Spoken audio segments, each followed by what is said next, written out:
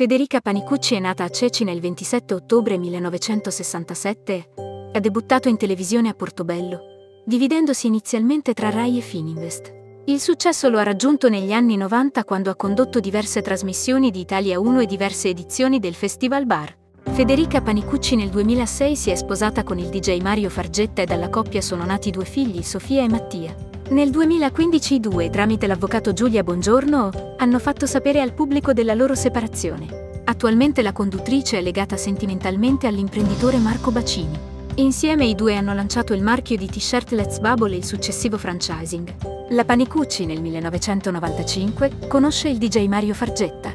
I due si sposano nel 2006 e hanno due figli, Sofia e Mattia. La coppia si separa nel 2015 e la conduttrice, l'anno successivo, si lega all'imprenditore Marco Bacini. L'amore per Marco mi ha letteralmente travolta e io mi sono fatta travolgere. La conduttrice vive in centro a Milano. Sul suo profilo Instagram Panicucci conta un milione di follower. Federica Panicucci nel 2021, per la prima volta sulle reti Mediaset. La Panicucci ha condotto la partita del cuore.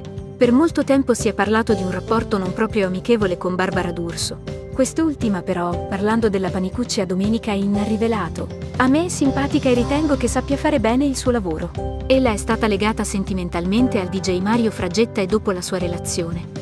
La donna si innamora perdutamente di Marco Baccini svelando in un'intervista ciò che li accomuna. L'amore per Marco mi ha letteralmente travolta e io mi sono fatta travolgere.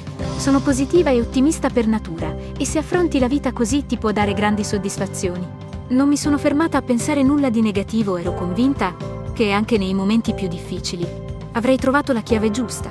La donna ha raccontato un terribile incidente che l'ha vista protagonista in una spiaggia di Forte dei Marmi. La conduttrice Federica Panicucci ha svelato un terribile incidente che si è verificato nel bagno della spiaggia di Forte dei Marmi dove trascorre le vacanze estive in totale relax.